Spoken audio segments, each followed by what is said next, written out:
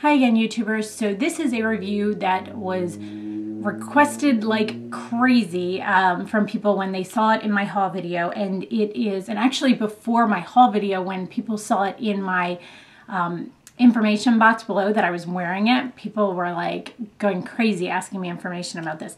And this is the Hourglass Ambient Powder. I have the color Dim Light. They are lighting powders. This is what the packaging looks like. It is gorgeous, gorgeous, gorgeous, gorgeous, gorgeous packaging. Um, just Hourglass just knocks it off the chart every time with this, uh, with their packaging. It's beautiful packaging. Um, and a little bit of information about this is the basis of this information is, or this product is that they are made to give you the same effect as different lighting does. Um, pink lighting, you know, things like that. Pink lighting, I think it was um, if you want the best information about this product, honestly, review-wise, um, Josh Collier, I will try and put his link with his review below. He works for the company. He swatched and reviewed all of them. And he is actually a person who um, I had talked back and forth with because they were only available online at first. So I talked back and forth with him about which color to get or which type to get because they range in everything from ones that have a lot of sheen to them, more like a highlighter, to ones that just have a light sheen to them that can be used all over, things like that. The dim one is kind of a good in between because you can use it as a very, very, very faint highlighter, just more of a depth or you can kind of use it all over. And I have not put this on yet. So what you see is I have no highlight on my face. My face looks very flat. Um, I'm just going to use my Sephora 55 airbrush brush. Now you are supposed to use more of a thick brush. I forget. He has the brush. I didn't buy the brush. Now I should. Um, but you can see just the difference in this side of my face to this side of my face. Look at that. Like how pretty. And these do not make you look oily at all, like at all, like not even a little bit. Now you can use these all over, which as you can see, I'm using it way more places than I would a normal highlighter. But tell me if you can see the difference in my face. It just gives you a nice flushed, beautiful, healthy glow to your skin without looking greasy, without looking oily. Um, it has a amazing finish to it and is so soft. The texture is beautiful. Um, I will swatch it. This is what it looks like if you just see the swatch. Mm, there it is. See it very well.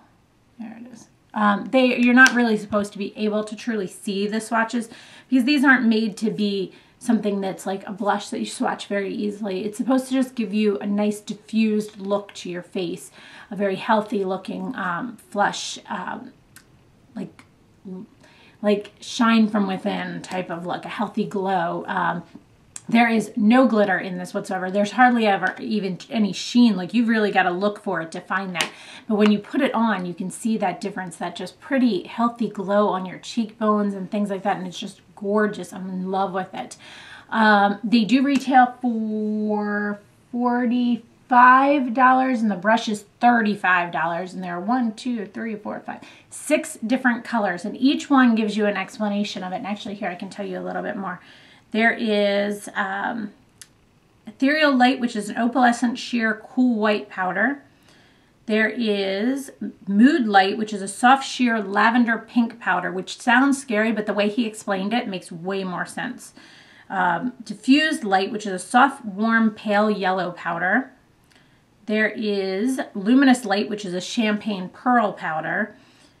Uh, Radiant Light, which is a golden beige powder, and then Dim, which is explained as a natural peach beige powder, which is the one I got. So um, for more information on exacts and swatches of those, definitely go to Josh's uh, page, like that review. He has every swatch and every everything, and he has the brush there, so he can tell you more about the brush. Um, so product overall, I think this is a high five, like amazing product. Like this, the packaging, the product, the application, the softness of the, like the whole thing is just awesome.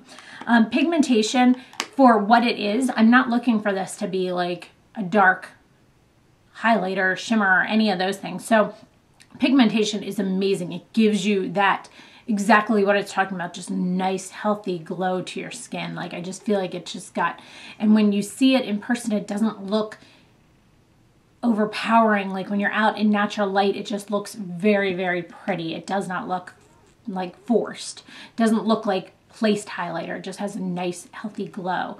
Uh, texture is amazing. So pigmentation was a good solid five. Um, texture is a five. It is so soft and so smooth and just so nice feeling.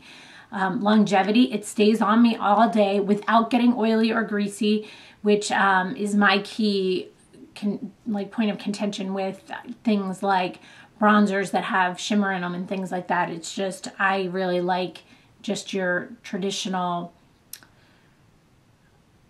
more matte look with highlight at certain spots. Um, you can also use this like on brow bones and things like that. It would look really pretty.